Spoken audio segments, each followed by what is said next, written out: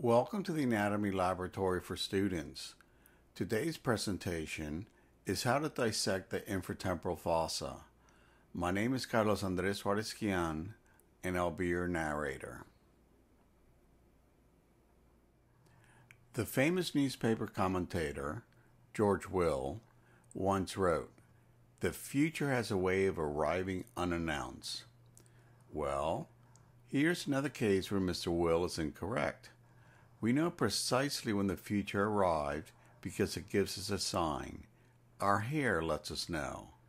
We generally start to turn gray in the area of the temples, the location of the temporal bone, and the reason we call this bone the temporal bone. We will dissect this area in this video and the area immediately inferior to it, the infratemporal fossa. Important arteries and nerves are found here that transmit one of our most important senses, taste. Let's start the dissection of the infratemporal fossa. The infratemporal fossa is the space that is below the temporal bone and deep to the ramus of the mandible. Many important nerves and vessels traverse this space. Before starting the dissection of the infratemporal fossa, let's review the structures we previously identified when we performed the superficial dissection of the face. Here, we see the largest salivary gland, the parotid gland, and its duct, the parotid duct. One of the muscles of facial expression is evident, the zygomaticus major. We can also identify the masseter muscle, a major muscle mastication. We start the dissection by cutting the parotid duct and reflecting it medially. At this point, we start the laborious process of removing the parotid gland using scissor technique. But we have to be precise because we're looking for delicate nerves that run through the parotid gland. The reflected parotid duct is clearly evident as indicated in the dissection. After carefully removing the parotid gland, the facial nerve and some of its branches become evident. In a perfect dissection, we would find five to six terminal branches. In addition, we can see the continuation of one of the terminal branches of the external carotid artery, the superficial temporal artery, and its corresponding vein. We're now ready to enter the infratemporal fossa. For orientation purposes, structures we saw previously are now labeled. They include the masseter muscle and superficial temporal artery. Now, we identify the zygomatic arch to which the masseter muscle is attached. Using a probe, we insert deep to the zygomatic arch as far anteriorly as the arch allows. Then, using a bone saw, we cut through the zygomatic arch down to the probe. In fact, the probe is protecting the deeper structures from being damaged by the saw.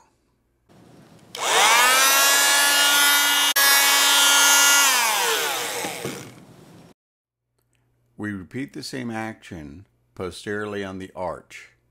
We again place a probe deep to the arch and again use a bone saw to cut through the arch.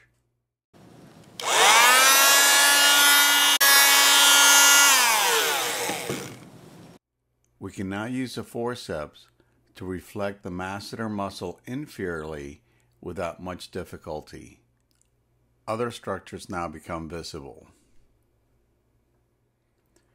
With the masseter reflected, here's the ramus of the mandible and the coronoid process of the mandible, covered by the attachment of the temporalis muscle, which has now been cleared to better demonstrate its location, and the condylar process of the mandible, the part of the mandible that articulates to the condylar fossa to form the temporal mandibular joint. We're now almost ready to enter the infratemporal fossa But first, we have to remove some bones from the mandible as follows.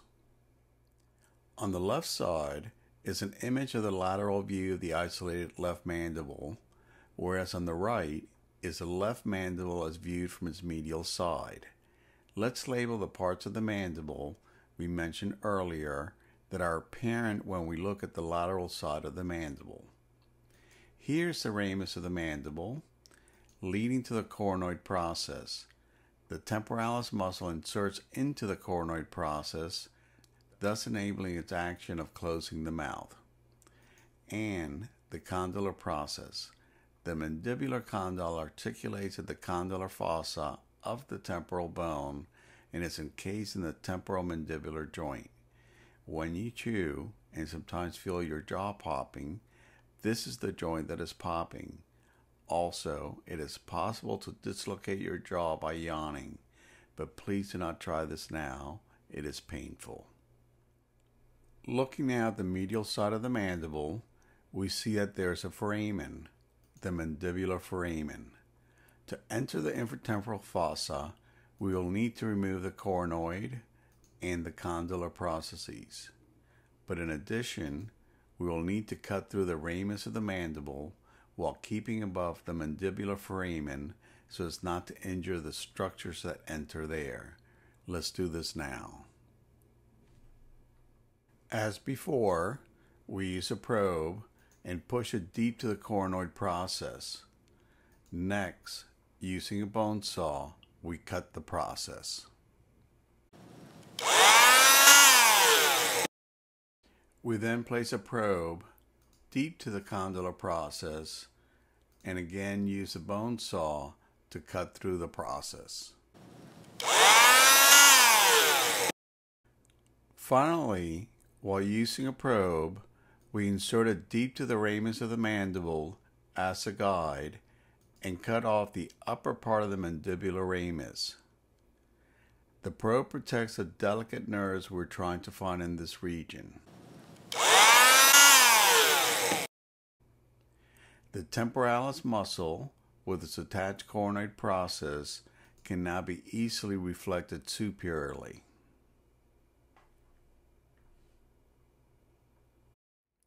We have now entered the infratemporal fossa. The ramus of the mandible also cracks some during the sawing, exposing the inferior alveolar nerve. Let's label the pertinent structures. First, we can see the reflected temporalis muscle.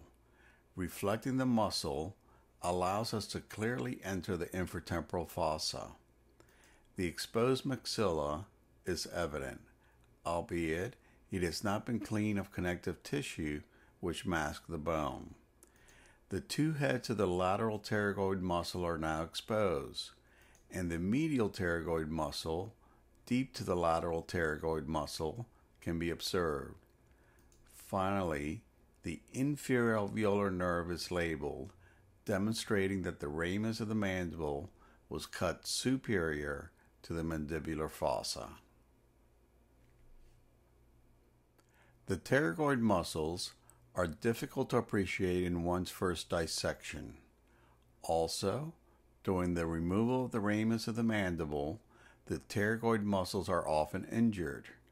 Consequently, I have added this drawing of the muscles as they are observed from behind the mandible. On the right side of the image, let's label the structures we are familiar with. The body of the mandible, the angle of the mandible, the ramus of the mandible, and the condylar process. The bony maxilla is also evident. Moving now to the left side of the image, we can observe the two heads of the lateral pterygoid and the medial pterygoid muscle. These are muscles of mastication and they can move the lower jaw from side to side as well as help protrude and retract the lower jaw. Moving back to the dissection, the structures we just discussed are labeled, but now I want to point out another major structure found associated with this area, the external carotid artery. The external carotid artery terminates into two relatively large vessels just posterior to the mandible. The superficial temporal artery, observed previously, and the maxillary artery. The latter can run deep to the pterygoid muscles, as in this case, or lateral to the muscles. The next objective of the dissection is to use scissors to remove completely both the lateral and medial pterygoid muscles without injuring any of the important nerves and vessels masked by the two muscles. Let me explain. Here, we're looking at the base of the skull. Let's label a few structures for orientation. The foramen magnum posteriorly, the palatine process of the maxilla, and the horizontal process of the palatine bone, together forming the hard palate. And just somewhat superior to the hard palate is the sphenoid bone that runs perpendicular to the long axis of the skull. If we now focus on the area of the infratemporal fossa, indicated by the circle, we observe two foramina of interest in this area. The foramen ovale for exit of the mandibular division of the trigeminal nerve, and the foramen spinosum for entry of the middle meningeal artery into the skull. These are the two delicate structures we are trying to preserve and observe when we remove the pterygoid muscles from the infratemporal fossa. If the pterygoid muscles were removed carefully, this is what we should see in the dissection. Here's the maxillary artery, one of the two terminal branches of the external carotid, the other being the superficial temporal artery. We again observe the inferior alveolar nerve, but now we can almost trace it to the foramen ovale.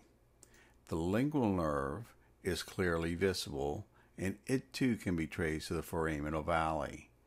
The middle meningeal artery, a branch from the maxillary artery, can be identified.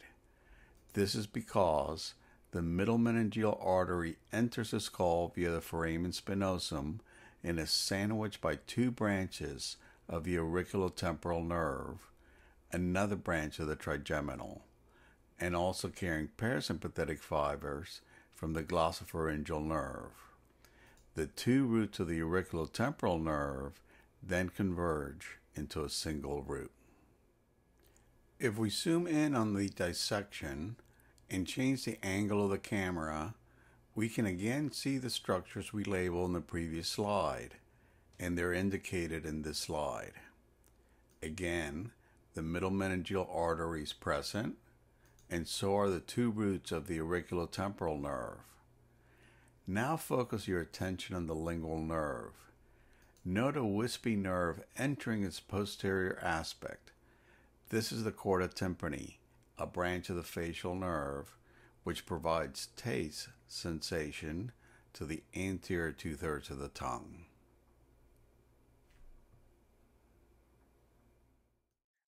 We know the structures that we need to demonstrate in the infratemporal fossa are small and difficult to image. Consequently, we present the images now in a different cadaver in which part of the ramus of the mandible was removed and the images colorized to better demonstrate the course of the relevant structures. Let's start labeling these structures. With the temporalis partially reflected, we see the upper and lower heads of the lateral pterygoid muscle, one of the four muscles of mastication, and the medial pterygoid muscle. The two pterygoids, the temporalis and the masseter, make up the four muscles of mastication. The buccinator muscle, also seen in the slide, remember, is a muscle of facial expression. We now observe two nerves, the lingual and the inferior alveolar. The nerves are accompanied by arteries bearing their names.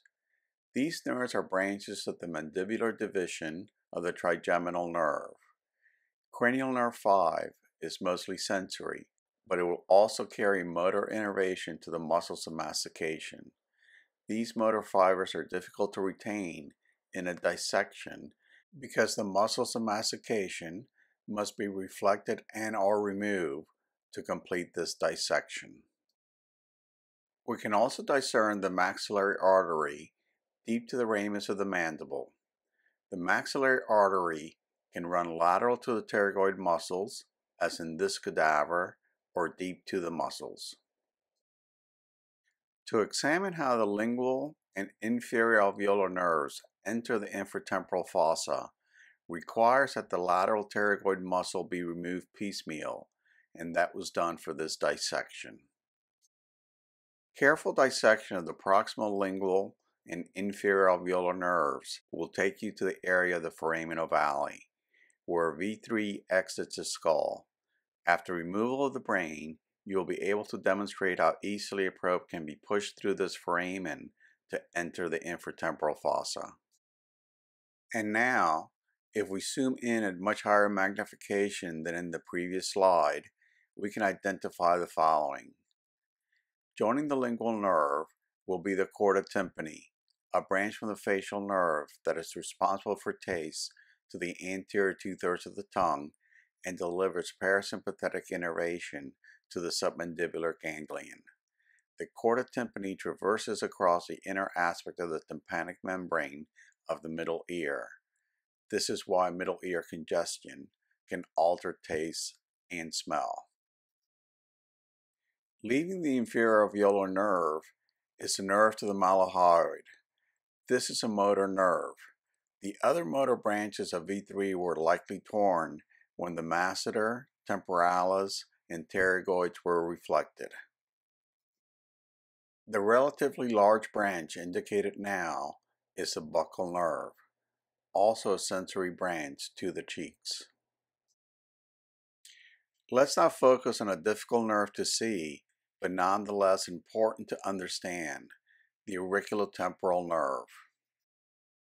Also note the otic ganglion. The otic ganglion will send postganglionic fibers to join the auriculotemporal nerve, and these will travel to the parotid gland to stimulate release of saliva. As you can see also, the auriculotemporal nerve exhibits a split, and through this split, the middle meningeal artery will traverse enter the cranium via the foramen spinosum. Having discussed the nerves, let's say a few words about the arteries in this region. To recap, the external carotid artery terminally divides to become the maxillary and the superficial temporal arteries. The maxillary artery will give rise to numerous branches in the infratemporal fossa. You really do not need to know their names, except recognize that the important middle meningeal artery thus derives from the maxillary artery. Within the skull, this artery travels along the inner aspect of the thin flat area of the temporal bone and as such is susceptible to rupture when a person is struck hard in this region, which is called the pterion. This results in blood accumulating between the dura and the inner aspect of the skull, producing an extradural hematoma. If the pressure caused by this hematoma on the brain is not relieved, the patient will die. Ultimately, the maxillary artery travels to the sphenopalatine foramen and enters the nasal cavity from behind to become the sphenopalatine artery. In this last dissection, the lateral wall of the mandibular ramus has been removed to show how the infraorbital nerve traverses the mandibular canal to supply sensation to the lower teeth and then exits the canal via the mental foramen to supply general sensation to the lower part of the face by way of the mental nerve.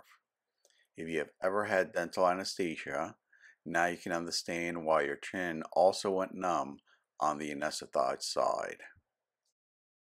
This now concludes the dissection of the infratemporal fossa.